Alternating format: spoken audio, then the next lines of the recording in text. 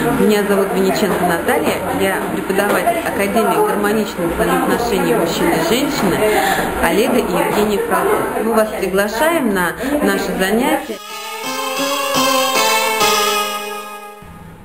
Мужчина хотят нормальный мужчина, здоровый, патентный, сексуальный. Значит, сексуальность равно успех. Если мужчина не сексуален, он не способен много денег зарабатывать. Мужчина э, ищет себе женщину в пространстве, видит женщина, привлекает внимание его, да, э, там, э, своим внутренним состоянием, своим взглядом. Э, и он, э, бывают такие женщины, один раз мужчина с ней переспал, и не хочет больше. Вот у меня сколько раз такие слушательницы встречаются, говорят, Наташа, вот я прих...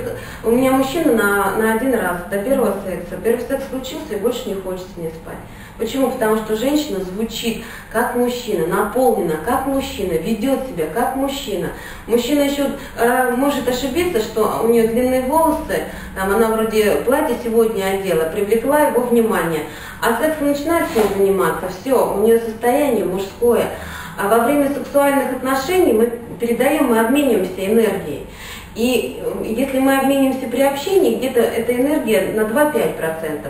Когда вы флиртовать начинаете, уже процентов 8-10. А когда сексом занимаетесь, уже 98%. 90-98% вы передаете энергии своей женской. И мужчина это почувствовал. И что происходит? Мужчина, э, представьте, например, мужчина Мерседес, а женщина автозаправка. Приезжает Мерседес на автозаправку, а там 76 бензин, 95-го нет. Что ему делать? Не очень хорошо для Когда я мужчинам говорю, задать такой вопрос, я говорю, если вот он заправится 76 бензином, что произойдет? Он говорит, ну метров 300 проедет. Вот это и происходит. Мужчина приходит к такой женщине, один раз с ней переспал, 300 метров проехал, говорит, зачем мне нужна такая заправка, буду искать бензин 95 на другой автозаправке. И когда э, женщина теряет свою женскую энергию, как правило, в молодости мы все достаточно женственные. Мы как минимум красимся, мы как минимум там кокетничаем, э, за собой ухаживаем, стараемся красиво одеться, понравиться мужчине, э, какое-то время посвящаем себе. Да? Молодежь еще сейчас, э, ну, очень многие стараются там, заниматься э, спортом, как-то себя поддерживать. Одевайте брюки. Вообще нет. А джинсы вообще уберите из своего гардероба. Все э, обтягивающие джинсы, которые вот у вас между ног обтягивают, они очень сильно нарушают работу женской энергии. Вот через две недели попробуйте одеть штаны, и вы почувствуете, у вас какое-то ощущение другое, совершенно другое. Вы почувствуете, что другое состояние. А затем, почему женщине нужно обязательно длинные волосы? Ну, я же говорила, мужчина смотрит на такую женщину и говорит, не мужчина, хочу когда э, мы напрягаемся, в сосуды не поступает кровь. Токсины, яды, шлаки остаются. Кровь не поступает, значит не поступают питательные вещества, микроэлементы, кислород. Что происходит с тканями, если нарушены процессы обмена веществ? Это в таким в катастрофическом случае, когда совсем, да, если так вот 6 часов поддержите, будет некроз конечности через 6 часов. А если они просто ну, недополучают, да, там же совсем мы ниточками не перетянули сосуды, вот, они хоть немножко получают, но недополучают. Появляются диагнозы, появляются заболевания. То есть обижаться вредно, нервничать вредно, врать вредно для здоровья. Не заниматься сексом, не получать оргазм вредно для здоровья. Да, обижаться очень вредно. А если у нас есть неудовлетворенность в семейной жизни, да, муж не, зарплату не зарабатывает, э, не, не обеспечивает, там, ответственности не берет, воспитанием детей не занимается, э, то, естественно, тут неудовлетворенность приводит к тому, что идет внутреннее напряжение. Внутреннее напряжение приводит к диагнозу. В зависимости от того, от какой ситуации вы напрягаетесь, ну, такой диагноз и появляется что терпеть нужно в сложных ситуациях, когда мужчина и сам уже в катастрофе, ему тяжело принять какое-то быстрое решение. Вот, видите, вот типа, я же не просто так, да, я не просто так э, перечислила терпеть, когда он э, пьяный, когда у него любовница появилась, когда он обанкротился, когда он разбил машину, ему и так плохо. Он сам знает. Мужчины и говорят, Наташа, я знаю, что это плохо, но я не могу без этого. Я не хочу изменять жене, но она меня не удовлетворяет как сексуальный партнер. Она, я прихожу домой, я напрягаюсь, потому что она постоянно меня пилит. Мужчина, приходя домой, ищет отдыха, а мы к нему с проблемами. Ну а помощь наша проблема. Так он же взял на себя ответственность. Конечно, нужно знать правила. Как сделать так, чтобы он наши проблемы взял за свои и начал решать. Когда мужчина приходит домой, 20 минут его не трогайте, встречаете счастливым лицом, с счастливой улыбкой, говорите, дорогой, ты пришел домой, какое счастье. Мужчина рожден для того, чтобы убивать, добывать, завоевывать. Мужчине у него цели завоевать государство.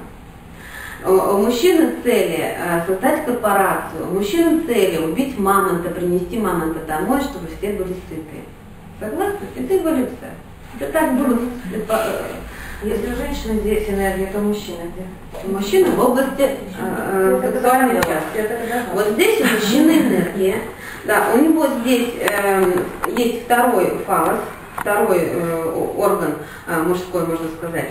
Э, он энергетический, он вот прямо под областью пупка, буквально там 3-4 сантиметра, и он точно так же выглядит, как э, у мужчины его орган мужской э, в состоянии в рабочем. Точно так же выглядит энергетически, если бы вы, видели энергию в цветах, вы бы это увидели у мужчин. Э, ему это нужно для того, чтобы пробивать дорогу. И недаром мужские сперматозоиды рисуют в виде стрелы, да, чтобы пробить яйцеклетку, пробить себе дорогу. Э, и это грубая сексуальная энергия, физическая энергия здесь у мужчин находится. Больше денег зарабатывает? Э, человек, у которого энергия в голове или физическая грубая энергия? В голове. В голове. Руководители, политики, да? бизнесмены, те люди, которые соображают быстро, да? Э, те зарабатывают больше денег. Мы от мужчины что хотим? Чтобы мужчина больше денег зарабатывал, а у него энергия здесь. И мы сюда ее поднять надо. А у женщины энергия здесь. У кого путь короче? Кто? Путь короче, поэтому женщины быстрее соображают, женщины быстрее строят малый бизнес. Мужчине, чтобы этот бизнес построить, нужно больше времени, больше нужно э, сил, больше денег потратить. У женщины еще интуиция, она еще интуитивно чувствует, куда деньги вложить. И женщина быстренько так раз, раз, раз деньги заработала. А мужчина начинает свой бизнес, у него трудно все идет. И женщина в этот момент говорит, да, у тебя руки не с того места растут. А вот если в этот момент его поддержать и сказать, у тебя все получится, ты гениальный мужчина, я верю в тебя, ты справишься с этим, то пройдет некоторое время, ему просто времени больше надо, 3-4 раза, чем женщине. Он ставит не крепко на ноги, он создаст три раза более большой бизнес, чем женщина. Если взять, два человека потенциально одинаковые. Да, там одинаковое образование, социальные прослойки, возраст, э, здоровье и так далее, и так далее. Мужчина будет дольше строить, но он создаст более надежный, более большой и крупный бизнес, чем женщина. А у женщины нет вот этого органа, хари он называется. Она, хари. И э, для того, чтобы создавать большой бизнес, нужно стенки пробивать лбом, да, вот этим хари нужно пробивать стенки, а у нее нет этого, поэтому она, э, очень мало женщин, которые создали очень крупный бизнес, либо это наследство папа сделал, либо муж денег дал, либо вот просто под его руководством. Очень редко, очень мало женщин, которые самостоятельно, абсолютно независимо создали огромный бизнес корпорации монополии. Согласны со мной? Мужу не надо спрашивать, что тебе приготовить. Если он что-то хочет, эксклюзивное, он скажет, э, любимая, я хочу пельмени, приготовь мне, пожалуйста, завтра пельмени. Это он предполагается, что любимая сидит дома, да, и его ждет. Почему? Не обязательно. Да хватит. Купим муки, мамашки пока. Это уже милая. Девочки, если ваша карьера мешает вашей семейной жизни, нужно сократить время пребывания в карьере. Невозможно. Нет, а, невозможно, возможно, если вы не хотите. Самое главное, самое страшное, это то, что вы не верите в своего мужчину.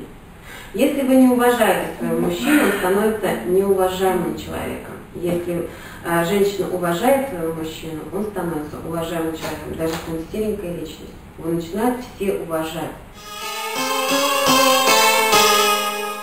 Мужчины, мужчины, они э, будут э, говорить, вы правы, так и есть, на самом деле вы правы. Когда мужчины присутствуют э, вот, среди женщин, я э, очень часто к ним обращаюсь и говорю, мужчина, вот, я, э, вы хотели бы, чтобы женщина себя так вела? Он говорит, да, конечно. Ну, естественно. Обязанность женская – это эмоционально наполнять и вдохновлять мужчину. Мужчину и всю семью. Вот обязанность зарабатывать деньги, делать карьеру – это не женская обязанность, это мужская обязанность. А женщина обязана эмоционально наполнять и вдохновлять мужа, детей, всю семью. А еще вы обязаны, ваша обязанность, держать себя в форме, быть красивой, ухоженной, подтянутой, здоровой. Это ваша обязанность. Если муж говорит, что тут Э, жира развесила больше, чем надо, задницу отрастила, он э, единственное, что может сделать, это вам там денег дать на спортзал, а вы обязаны ходить в спортзал, тренироваться, убирать свой жир. Это ваша обязанность, представляете? Не секса давать столько, сколько он хочет. Сразу после ужина. Сразу после ужина. Да сразу после ужина. Вот когда он покушал, когда он накормленный, когда вы сексуально удовлетворили, тогда вы можете что угодно у него просить. А до этого только хвалите и восхищаетесь. Мужчина должен отвечать за все, что опасно, а вы его обязаны вдохновить на это. Мужчина э, должен материально наполнять семью, а вы его обязаны только вдохновить на это. Представляете, сколько у него труда, сколько ему сложно, сколько у него ответственности. Карьеру, сохраняет здоровье, продвигается, э, поднимает статус свой, зарабатывает деньги. И если женщина его не наполняет этой энергией, он вынужден эту энергию пить в другом источнике.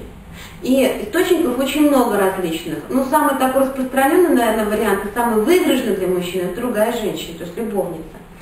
Бывает, что мужчина уходит с головой в работу. Слово работа тоже женского рода. И он там, пусть она такая подмененная, но все равно женская энергия.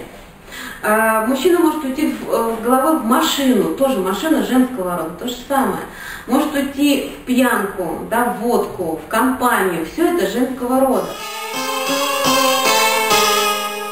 Женщина с мужчиной собирается на вечеринку, мужчина быстрее обычно собирается, но некоторые говорят, что женщина быстрее, ну не важно.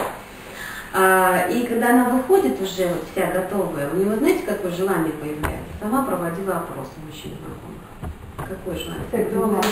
Койку. Никакой, ни на какой вечеринку, а в койку. Почему? Потому что она наряжается. Для него никогда не наряжается. Она наряжается на работу, на вечеринку. А ему нужно видеть красоту. Мужчина, когда видит женщину, что она ухоженная, что она красивая, что она накрашенная, он видит другое состояние, у него ощущение, что она его соблазняет, она другая. Вы когда платье одеваете, у вас другое состояние. Если платье с разрезом, у вас совсем другое состояние. Вы можете в платье сесть так, чтобы ноги расставить? Нет. Согласны? Это другое внутреннее состояние. Мужчине нужно, ему нужно все время соблазнять. Если вы его не соблазняете, через 5, 7, 10 максимум лет вы становитесь ему сексуальный партнер неинтересно. Он все вас знает. А нужно оставаться загадкой. А у нас вот девочки молодые открыли пупки поясницы. Какая там загадка, шорты, да? Все видно. Загадки никакой. Или первая э, встреча, завтра интим. Сегодня познакомились, завтра в койку. Какая загадка? Никакой. Различные ситуации разбирать, как в жизни себя ведете, какие фразы говорить, э, э, какие не говорить в парах вы будете очень много работать. А, будем работать обязательно с прощением, с обидами, а, с эмоциональными состояниями. Где брать энергию, будем обязательно разбирать. Я уже подсказку такую дала, в комфорте женщина должна брать энергию. Да? Потом а, мышцами тазового дна обязательно нужно заниматься. Дальше э, еще могу сказать такое. Если у вас нет благодарности к родителям, вы теряете очень много энергии. То есть вот с этим обязательно будем работать, как энергию набирать. И еще один такой момент, женщина наполняется энергией э, через природу, как правильно работать с природой, мы тоже на этом семинаре немножечко будем брать. Вот, потом следующий у нас семинары, э, вот такой, это первый базовый семинар, мы его называем основной семинар по общению, потому что если женщина не умеет общаться, то дальше заниматься сексуальными практиками, заниматься там, стрип-пластикой, ну это бесполезно, понимаете, да, то есть первое, почему мы учим, это правильно общаться. Вот, затем а, у нас есть семинар, который называется «Искусство прикосновения», где мы правильно учим прикасаться к предметам, к себе, а, как э, прикасаться, как на энергетическом уровне с прикосновениями работать, куда к мужчине прикасаться, чтобы, например, у него появилось желание э, заниматься домом, и как прикасаться, куда и как прикасаться, и что делать, какие-то массажные движения делать, чтобы мужчина начал проявлять щедрость, у мужчины есть зона щедрости на теле. Рассказывайте. Рассказывайте. Я даже на первом семинаре это говорю только одну точку. Мы расскажем, научим э, тому, как выстраивать отношения, чтобы э, ваши отношения вас все время радовали, и чтобы ваши встречи всегда были как первые, и чтобы ощущение счастья не покидало вашу семью никогда.